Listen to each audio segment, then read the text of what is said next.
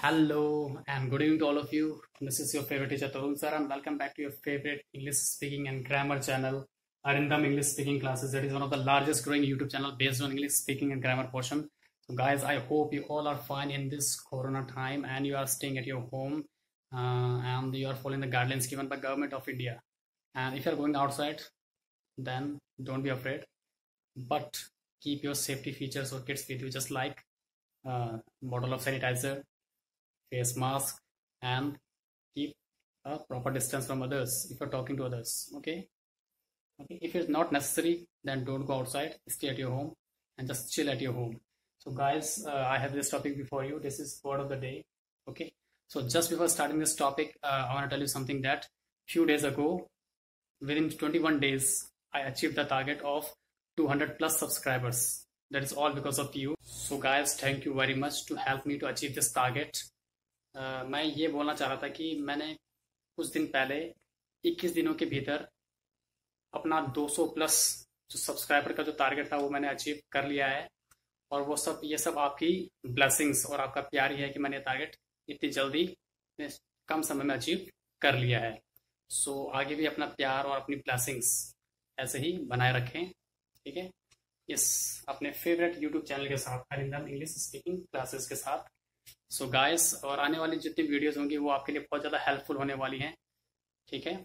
आने वाले जो टॉपिक्स होंगे, वो एग्ज़ाम के पर्पज़ से, यानी कॉम्पिटेटिव एग्ज़ाम्स के पर्पज़ से आपके लिए बहुत ज़्यादा बेनिफिशियल होने वाले हैं। इसलिए हमारे इस यूट्यूब चैनल के साथ लगातार बने रहिए और इस चैनल के अंदर आपको कुछ ऐसा कंटेंट या ऐसा मटेरियल टीचिंग लर्निंग प्रोसेस ऐसा प्रोवाइड कराया जाएगा, जो आपके लिए बहुत ज़्यादा बेनिफिशियल होने वाला, जो आपको एकदम क्लियरली समझ में आसानी से आ जाएगा। ठीक है? सो गाइस स्टार्ट करते हैं आज का topic that is word of the day जो आज का शब्द है दैट इज़ वर्ड आज का जो शब्द बने आपके लिए, जो लाया है, वो ये है एफिशियोनाडो ये एक नाउन है, इसका मतलब होता है प्रशंसक. Okay okay? एक नया वर्ड है आई थिंक आपने पहले ना सुना हो ये वर्ड सुना है तो अच्छी बात है अदर अदरवाइज़ ये आपको बहुत ज़्यादा इस वर्ड से आपको बेनिफिट होने वाला है. क्योंकि आप इन वर्ड्स की जगह, जो कॉमन वर्ड्स होते हैं, इनकी जगह पे अगर आप न्यू वर्ड्स यूज़ करते हैं, क्योंकि वोकेबलरी का फ़ायदा ये होता है कि अगर आप कुछ नए वर्ड्स किसी के सामने यूज़ करते हैं तो आपका जो इम्प्रेशन है वो बढ़ जाता है, ठीक है? इसलिए मैं आपके लिए हर रोज नए नए वर्ड्स आपके लिए लेकर आता हूँ। सो ये हो गया आज का वर्ड एफिशियोनाडो इसका मतलब होता है प्रशंसक इसका जो सिनेनिम होगा, यानी सेम मीनिंग वाले अदर वर्ड्स होंगे, वो ये है एडमायर और फ़ैन ठीक है? एडमायर मतलब भी यही हुआ, और फ़ैन मतलब भी यही हुआ। ठीक है? तीनों का मतलब हो जाएगा प्रशंसक यानी कि ये ये जो फ़ैन है ये वाला फ़ैन ये जो ऊपर घूमता है इस फ़ैन का मतलब हो जाएगा जैसे कि जैसे आप लोग बोलते हो हम्म, कभी कभी आप बोलती हो कि जैसे मैं आ, किसका नरेंद्र मोदी जी का फ़ैन हूँ मैं महेंद्र सिंह धोनी जी का फ़ैन हूँ मैं विराट कोहली का फ़ैन हूँ ठीक है? मैं शाहरुख खान का फ़ैन हूँ मैं सलमान खान का फ़ैन हूँ मैं आमिर खान का फ़ैन हूँ ठीक है? इस तरीके से ठीक है?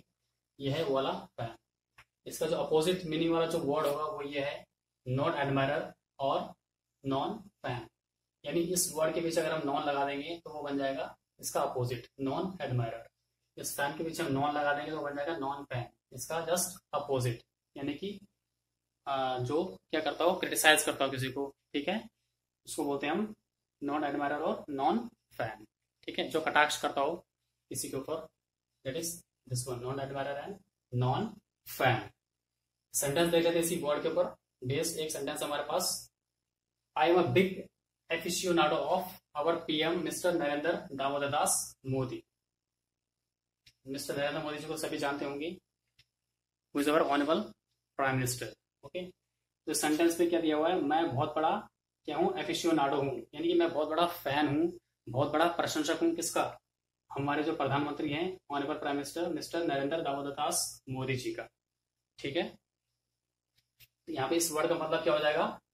फ़ैन मीन्स प्रशंसक यानी कि मैं नरेंद्र दामोदर दास मोदी जी का बहुत बड़ा क्या हूँ? फ़ैन हूँ। ठीक है? यानी मैं उनकी बातों को फॉलो करता हूँ। इसका मतलब ये हुआ। सो so गाइस ये था आज का वर्ड आई होप ये तो अभी आपको समझ में आ गया होगा क्लियरली ठीक है? इससे रिगार्डिंग कोई क्वेश्चनिंग वगैरह या सजेशन वगैरह आप मेरे को देना चाहते हैं तो आप कमेंट बॉक्स में जाकर मुझे सजेशन भी दे सकते हैं और क्वेश्चनिंग भी कर सकते हैं इस टॉपिक से रिलेटेड ठीक है? सो so गाइस एक वर्ड जो मैंने आपको लास्ट वीडियो में पूछा था जो अपनी कोविड नाइन्टीन रिलेटेड वोकेबलरीज का जो मैंने एक पार्ट सेकंड का वीडियो जो बनाया था, उसमें मैंने एक वर्ड आपको होमवर्क दिया था। वो कौन सा वर्ड था? फ्लैटनिंग द कर्व इस वर्ड का मतलब क्या हुआ? इस वर्ड का मतलब ये हुआ कि जिस, जैसे अभी इस टाइम पे कोरोना बीमारी चल रही है, सबको पता ही है, इस वर्ड का मतलब ये हुआ कि उस बीमारी को धीरे धीरे फ्लैट करना, यानी कम करना। यानी जो ग्राफ, जो आपने देखते हो, ग्राफ अपने मैथ्स वगैरह पढ़ा होगा मैथ्स में ग्राफ होता है यदि ऐसे ग्राफ बढ़ता चला जा रहा है। यानी कोरोना का जो ग्राफ है, वो धीरे धीरे बीच में बढ़ता चला जा रहा है। आप देख रहे होंगे, ठीक है? उसको फ्लैट करना मीन्स उस ग्राफ को फ्लैट करना, यानी कम करना, ठीक है? यानी उस जो कोरोना के केसेस जितने बढ़ रहे हैं इंडिया के अंदर, उसको कम करने के लिए हम वर्ड यूज़ करेंगे फ्लैटिंग द कर्व ठीक है? तो ग्राफ कम कैसे होगा?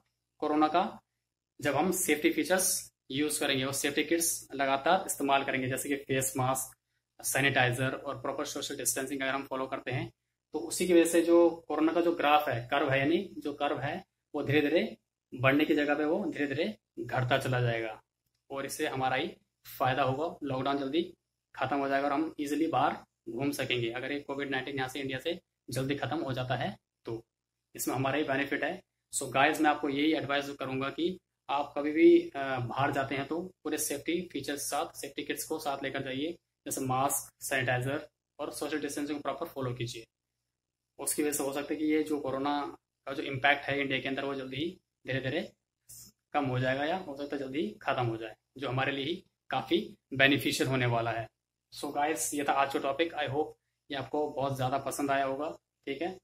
और आपको पसंद आए तो इस वीडियो को लाइक कीजिए और मेरे चैनल को सब्सक्राइब ज़रूर ज़रूर कीजिए। भूलिएगा मत। और मेरे इस वीडियो को अपने फ्रेंड्स फैमिली और रिलेटिव में शेयर ज़रूर ज़रूर कीजिए। So guys that's all for today thank you very much good night sweet dream take care bye bye